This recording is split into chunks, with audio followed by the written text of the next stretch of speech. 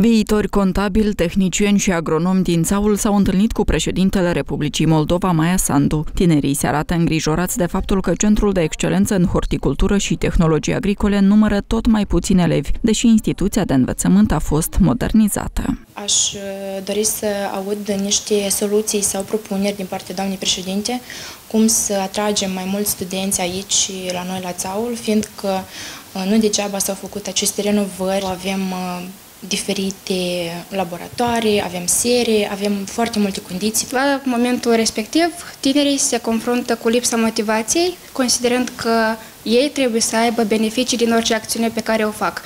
Deci, uh, lucrul respectiv ne împiedică pe noi să ne dezvoltăm ca persoane active a societății. Centrul pregătește specialiști în legumicultură și pomicultură, siguranța produselor agroalimentare și tehnologia produselor de origine vegetală și a fost modernizat recent cu sprijinul Agenției Austriece pentru Dezvoltare și Fundației LED Moldova. Pe lângă aceste condiții, șefa statului a menționat că trebuie sporite eforturile în pregătirea profesională a tinerilor și promovarea lor. Nu toți tinerii, din păcate, înțeleg că specialiștii în agricultură sunt la mare cerere, inclusiv cu salarii bune. Deci sunt raioanele în care eu merg și mi se spune că nu avem specialist în domeniul ăsta, nu avem specialist în domeniul ăsta și sunt agenți economici privați care sunt gata să plătească un salariu bun, să angajeze, care au nevoie de consultanță în agricultură și nu mai găsesc nimeni. La Centrul de Excelență în Horticultură și Tehnologii Agricole din Țaul învață peste 250 de elevi. O bună parte au continuitate la părinți, deci activitate deci agricolă cu părinților.